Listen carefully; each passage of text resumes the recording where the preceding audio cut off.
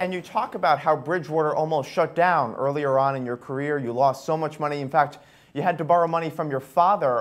What did you learn from this experience? Yeah, it was one of the uh, worst and best experiences I had. It was one of the most painful experiences I had, and it it changed everything because I it changed my mindset from thinking I'm right to thinking how do I know I'm right.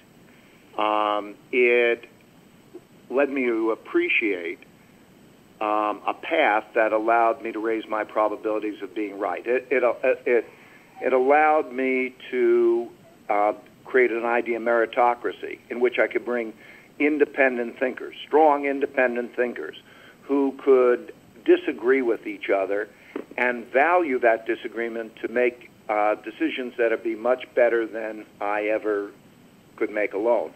It taught me uh, to write down my principles. This is basically, like I say, a compendium of principles written over a long period of time.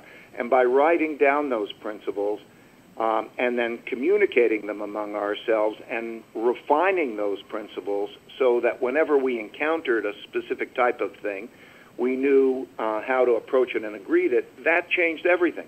That, uh, uh, that type of principle writing and then converting those principles to algorithms, which we started to do 20 years ago, and allow the um, computers to help us make decisions simultaneously, um, was all really largely a product of, uh, of that. It significantly raised our probabilities of being right.